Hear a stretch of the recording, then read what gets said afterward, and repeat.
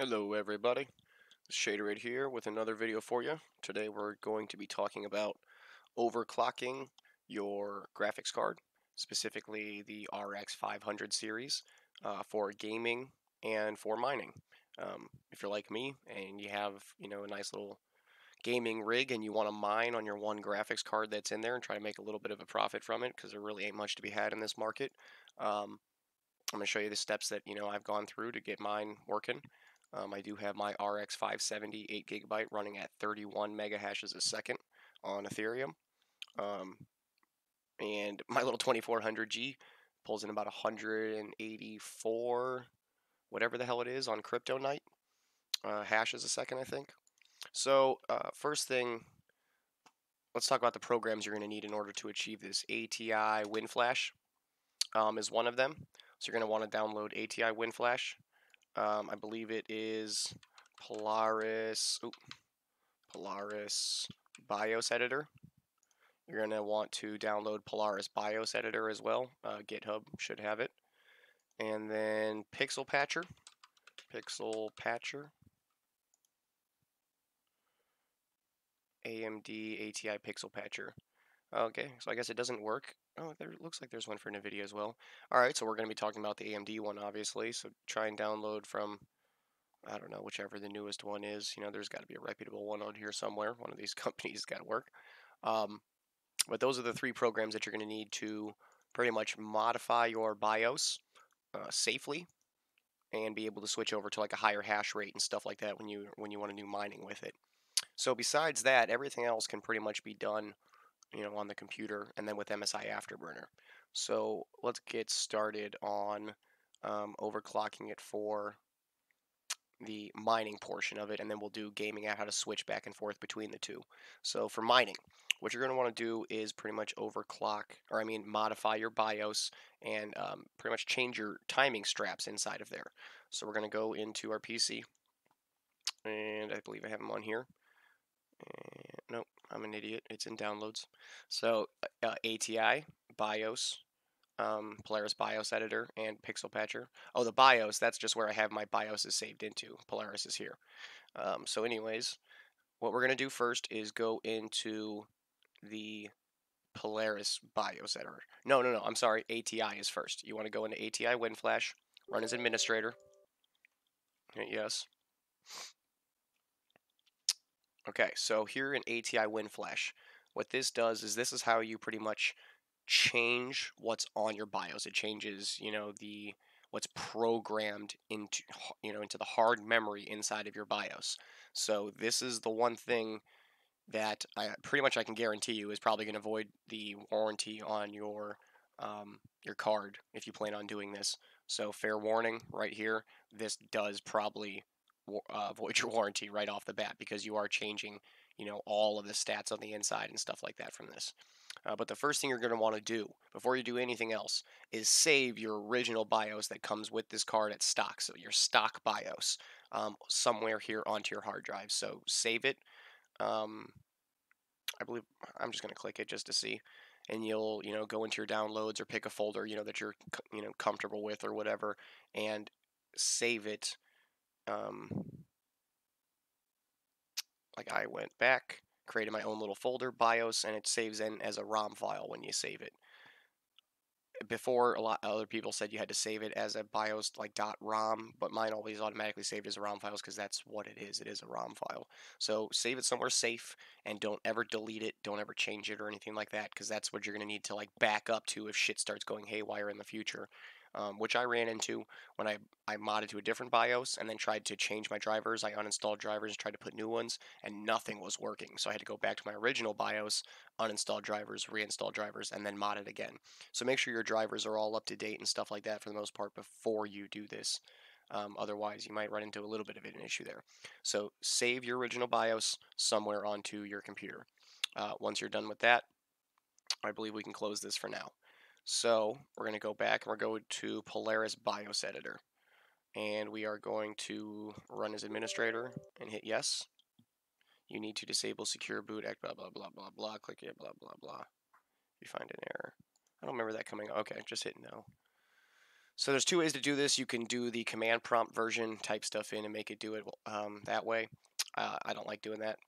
I followed um, VoskCoin, who has helped out a lot. He's got a lot of good, useful information. Check him out. You know, if you want a lot of other random stuff on building rigs and mining all different types of currencies and all different types of cards and all that kind of shit, he's got some good info. Um, but Polaris BIOS Editor 1.6.7 um, is the one I believe that you're going to want to get, and it gives you a one-click timing patch. So what that's going to do is just pretty much automatically change your timing straps based on what it thinks you know is going to do the best for you, uh, and apply it by itself, and then you just save it, and you're going to load it into that ATI program and um, go on from there. So um, I will show it to you just to see what it does real quick. So if I click one, click timing, no, sorry, no supported memory found, anything scenario, please. Oh, that's strange. It, this has definitely worked for me in the past. Oh, you know what? You have to open BIOS, load your little BIOS that you just saved, bios.rom. Okay.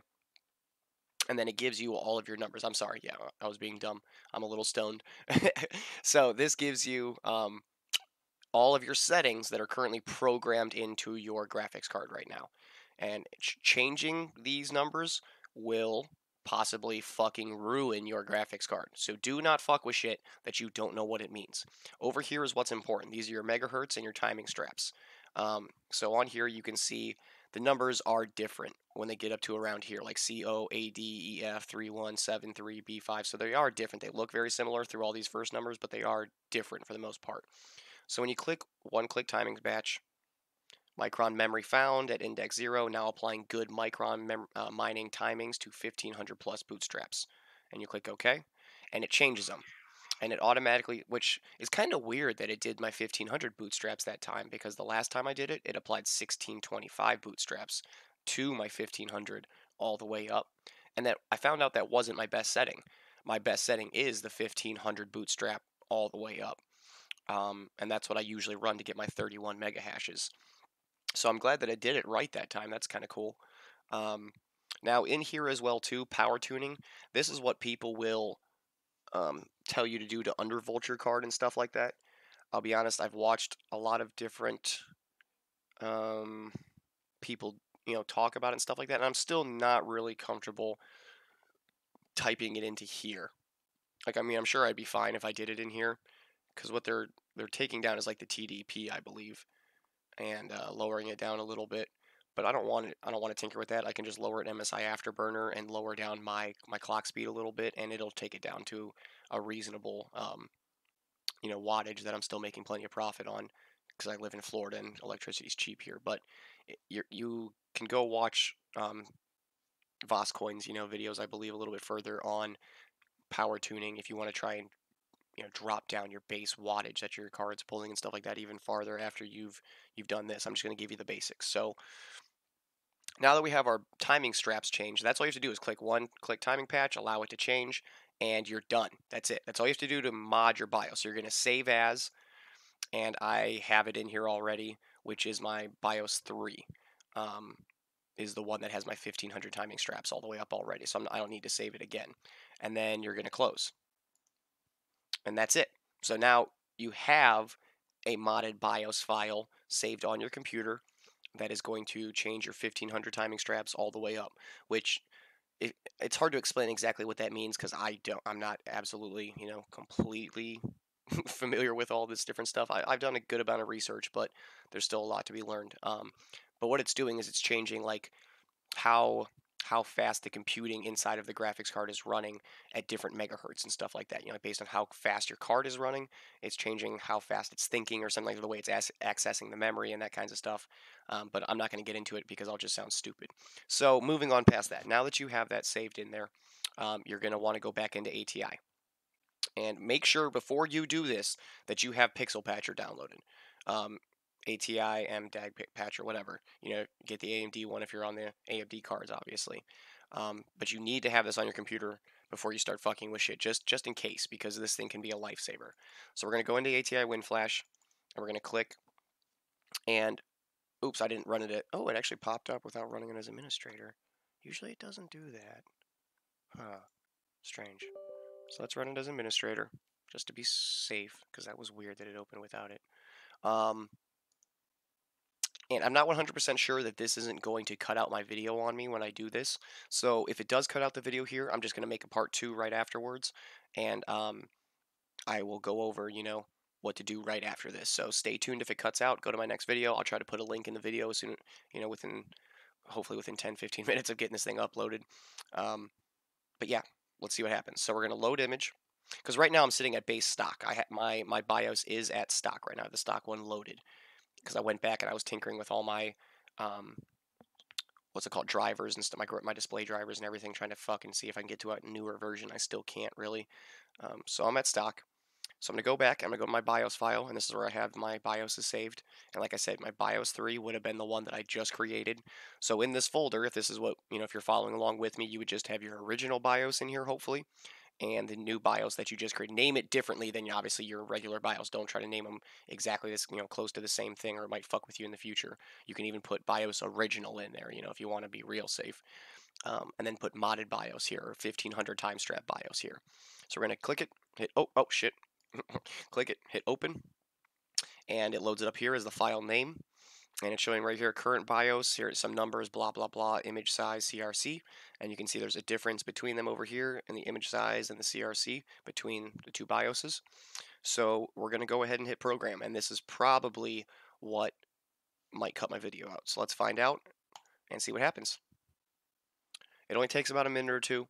It'll program this new BIOS in, and uh, fingers crossed it doesn't fuck anything up or cut out my video and I can keep going with this. I am going to have to make a part two one way or another because you do have to restart your computer at one point and since I'm not using a capture card from another computer I'm going to have to restart the computer for this to work properly so uh, we'll make a part two here in just a, a couple minutes and uh, we'll show you all the steps. So we'll give this a little minute to run through. You, it's sometimes it takes you know a couple minutes. Sometimes it's a little bit quicker. I guess it depends. I'm streaming or I'm recording to the hard drive as well right now too, so that's probably eating up a little bit, a little bit of extra CPU power. So wait for this guy to finish, sorry.